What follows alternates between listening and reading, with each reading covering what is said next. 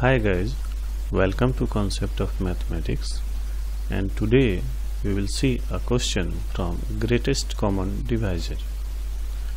So let us start. The question is so that GCD of a minus b and a plus b equals 1 or 2 if GCD of a comma b equals 1 that means a and b are co-primes. So let us start. It is given that GCD of a and b equals 1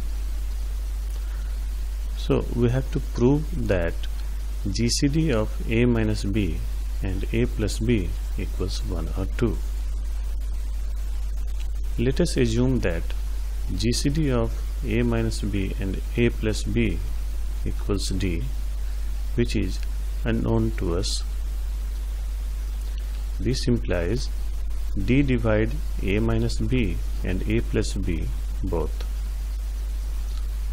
There exist integers m and n such that a plus b equals m times d and a minus b equals n times d.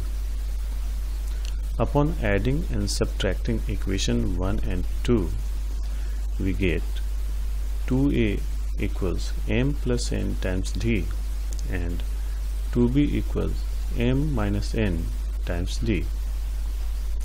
Since GCD of a comma b equals 1, therefore 2 times GCD of A and B equals 2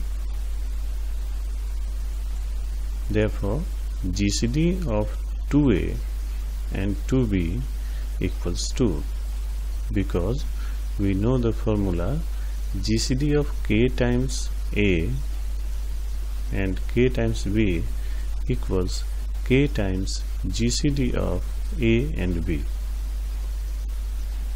Upon substituting value of 2a and 2b from equations 3 and 4 we get GCD of m plus n times d and m minus n times d equals 2 therefore we take out the common factor d outside. D times GCD of m plus n comma m minus n equals 2 we have used the same formula as given above. Therefore d times some integer equals 2 because GCD of any number will be an integer. This implies d divides 2. Therefore, d is an integer which is less than or equal to 2 because if a number divides another number then the number is less than or equal to another number Therefore, D equals 1 or 2. So now we have proved that GCD of A minus B and A plus B equals 1 or 2.